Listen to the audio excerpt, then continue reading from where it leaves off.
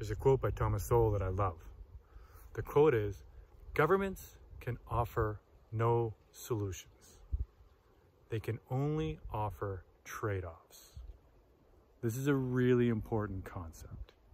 I'll give you an example. Five to 10 years ago, the city of Campbell River implemented a policy of densification and infill within the urban containment boundary. Have a more walkable community. Great. Love the idea. Trade-off.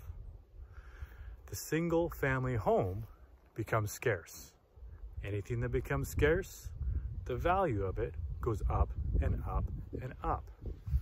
Nobody can buy a single detached home anymore. Those who own a single family or a single detached home see the asset go up and up and therefore their taxes on it go up and up.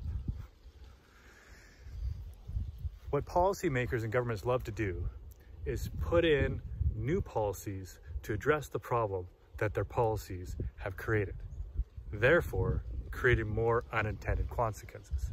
Now I'm gonna just sit here and tell you that we should have no policies. I'm just sitting, everybody should think about the trade-offs for their policies. If you talk to elected official or a candidate that has a solution to this or a solution to that, make sure you ask, what is the unintended consequences? What is the trade-off to your policy? If they can't answer that, it means they haven't properly researched the problem or their solution. I'm Sean Smyth, and I'm running for re-election, Campbell River 2022.